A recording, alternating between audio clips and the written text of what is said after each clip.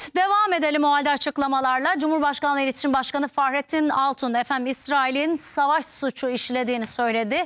Ee, biliyorsunuz daha önce bu tarz açıklamalar da vardı zaten. Önemli bu açıklamalar dünya literatürüne giriyor çünkü.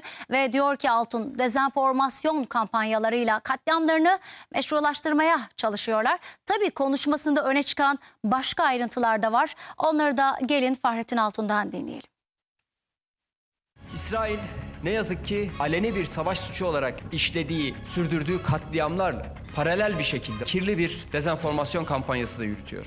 İsrail savaş suçu işliyor dedi. Katliamların dezenformasyonla meşrulaştırmaya çalışıldığını söyledi. İsrail sürdürdüğü zalim saldırılarla bir şehri, bir beldeyi enkaza çevirmek ve yaşanmaz hale getirmek istediği gibi hakikat sahasında da bir enkazla, bir harabeyle bizi baş başa bırakmaya çalışıyor.